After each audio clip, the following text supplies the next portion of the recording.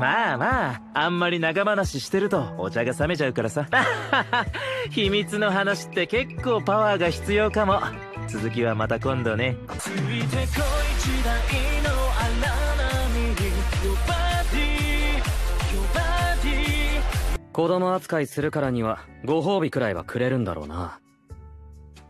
この間言わなかった秘密を教えろ。引っ張っているのはそっちだろう。こっちはもやもやしっぱなしださっさと吐け。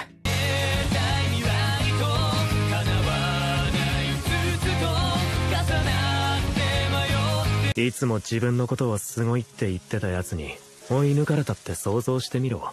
普通焦るだろ。で今回二度目。芝居で焦った。負けねえからな。明かしてた絆をつないで心決めた兄さんが音楽始めたのってバンドには俺が入ってこられないって思ったからでしょ？ごめんね。いつだって追いかけたくなるくらい兄さんはすごくかっこいいからさ。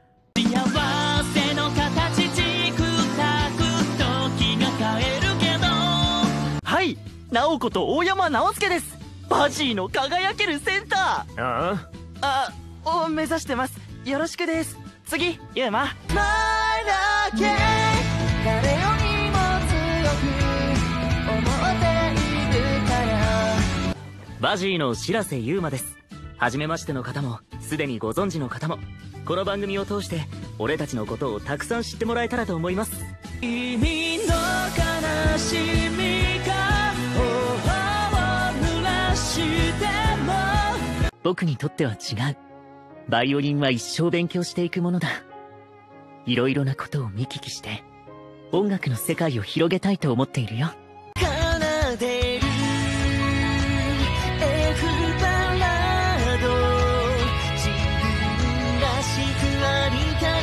ロックダウンの輝ける末っ子こと武士2号こと藤川春人です。あなたの穏やかな日常に小粋なスパイスをお届けします。どうぞよろしくお願いします。心のまま上げろ。心のまま天井は別いやツッコミどころが多すぎる。えー、ご安心ください。わかりやすい男前もいます。む同じくロックダウンのアマハレイジです。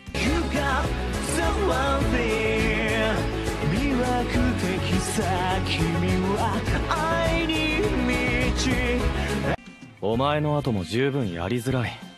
立花歩ですロックダウンの武士1号のようです。よろしくお願いします。届かない場所は消えてなくなる焦る気持ちを隠せなくて主演ということで責任重大です。正直少し緊張していますがルーたちの力を借りつつ皆さんに素晴らしいものをお届けできるよう頑張ります。月を歌おう過去の猛者を月夜の歌に込めよう。赤花時代は戻らせない。これっていうか俺といる今にガックンは焦点を当ててるのかなって。俺が夢に向かってガーって動いてるのと同じぐらいの力でガックンはその時その時に集中してるんだ。大丈夫大丈夫大丈夫。僕と君が揃急な配役変更はあちらの都合です。それを逆手に取り交換条件としてこちらの露出を増やしてもらいましょう。もちろん無償で。ミスキスの人気に甘えず全く新しいものを作る気持ちで企画しているって担当の方がおっしゃってました。小小野田の演奏は聴くものを新たな音楽の世界に誘ううちの楽団で今でも話題になるほどなんだ。ああちゃんとお前の兄貴役に見えるあの弟くんがな兄貴の背中を追い続けてここまで来たんだから大したもんだ。弟の五木が悪のカリスマの道に突き進む破天荒な人間。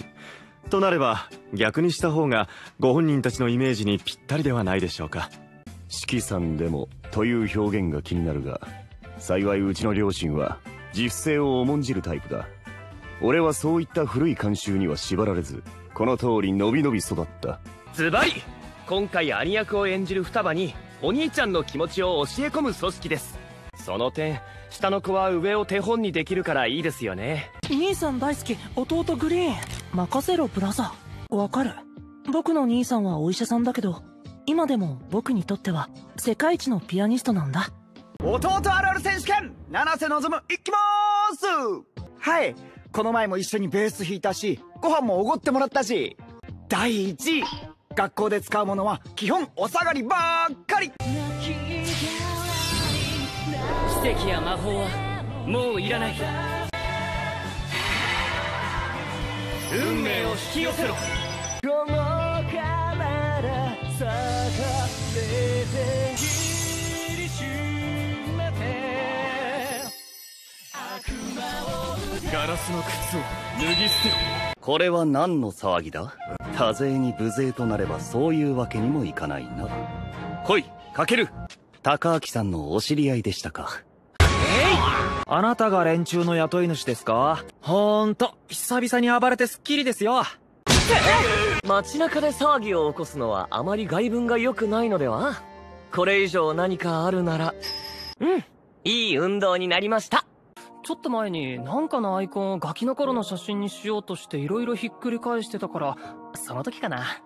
目玉のクラス対抗リレーじゃガクとルカが代表に選ばれてな。そうだな。